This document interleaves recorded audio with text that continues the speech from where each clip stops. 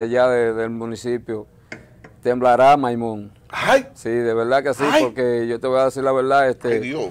eh, para nadie es un secreto que allá si yo no pertenezco al grupo tuyo, yo no- tú no puedes conseguir un empleo o No, cosas por el estilo. Ah, ¿no era así? Dividido, ¿no? Por Sí, es fuerte. Yo te estoy diciendo a ti las cosas como están pasando. Es tan así que no- nosotros ayer nos dimos cuenta de, unos, de un documento.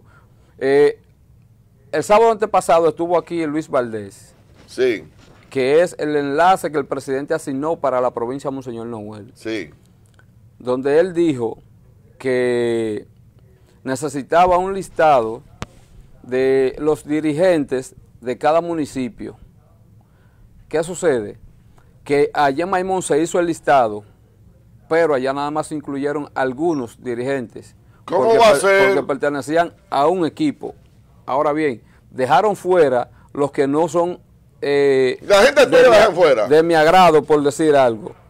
Y en este documento que se llevó, ya yo tengo la copia del documento y aparte de eso, eh, llevan esta- este documento y donde entregan el documento diciendo o firmando como que Berto Núñez firmó el documento para que se entregue allá.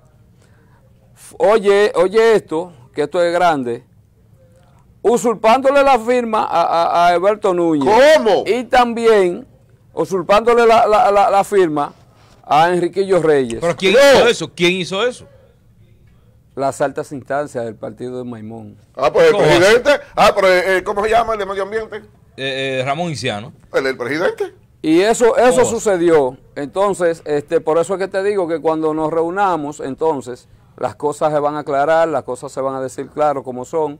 Y entendemos que el presidente, el mismo presidente, le va a buscar una solución a esto.